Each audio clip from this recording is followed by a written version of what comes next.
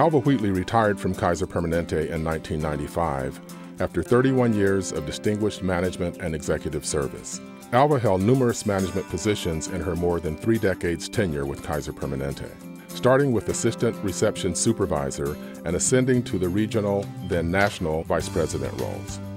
Alva's ascension through the management ranks is even more remarkable considering her relatively modest beginnings and the scarcity of women role models in senior or executive healthcare management, and even fewer people of color, men or women. Born in Houston, Texas, Alva was the fifth of nine children born to Arthur and Ruby Olivier. At six months of age, her family moved to Sloat, California, because Arthur and Ruby did not want to raise their children in the civil rights environment that characterized Texas and the South in 1940. Ruby worked as a mother and a housewife, and Arthur worked in the sawmill. The values of hard work and family were embedded in the children's psyche early on by their parents and extended family, particularly their aunt, Zena, who migrated to California first and opened a bed and breakfast. The rest of the family soon followed. The family was very insular. Sloat was a small town, and consequently, there were few influences outside of the family. As a result, the siblings were very close and enjoyed each other's company, a characteristic that persists to this day, as evidenced by the 200 family members present in the audience.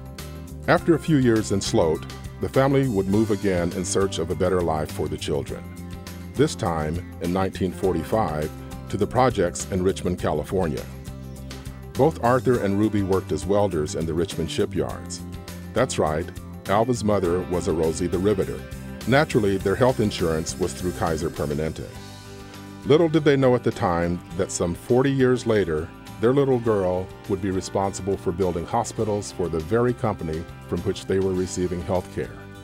In fact, five hospitals and 10 medical offices during her tenure a groundbreaking development in the healthcare industry at the time. Raised a devout Catholic, Alva attended Catholic schools throughout her elementary and high school education.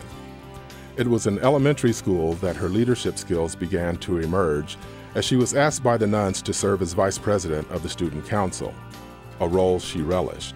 The nuns were also a major influence in her life, stressing discipline, hard work, and the necessity, as one of two black children in the entire school, to do better than others in class.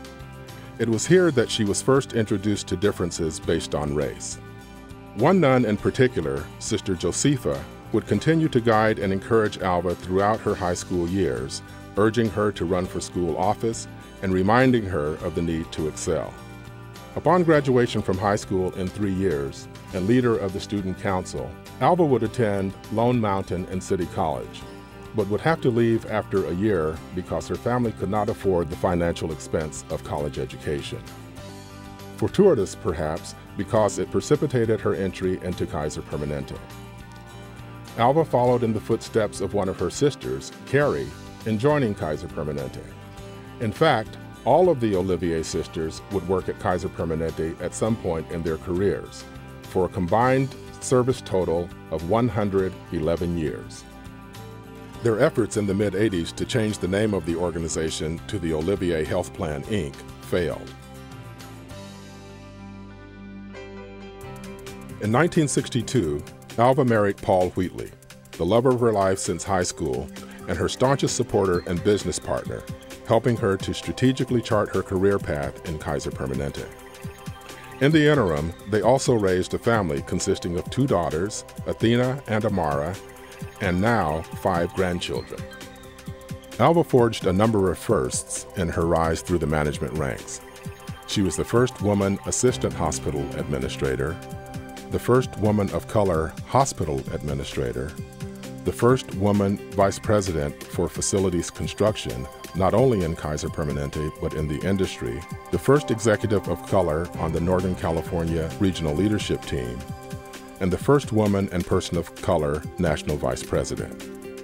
She also led the ever important program wide transition and early work of diversity as a business strategy, laying the foundation for the diversity effort we know today.